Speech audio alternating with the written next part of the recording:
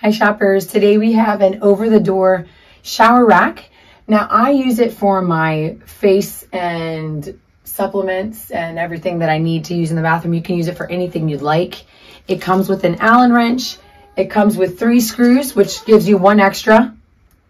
And then it also has little sticky pads that you can rip off and put behind so that you can make sure it sticks to the door so that every time the door opens and closes, it's not banging up against the door.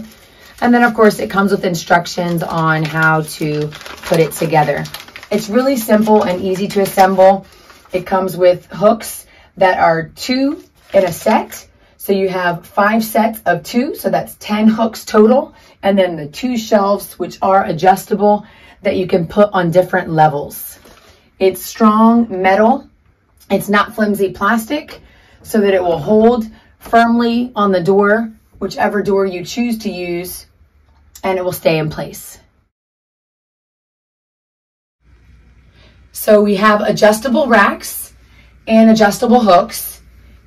When you get the item, it comes with two poles that you just have to screw together with the Allen wrench that comes in the set. And then actually there's an extra screw.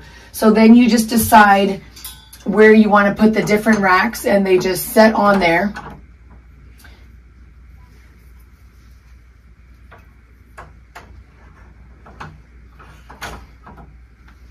Just like that.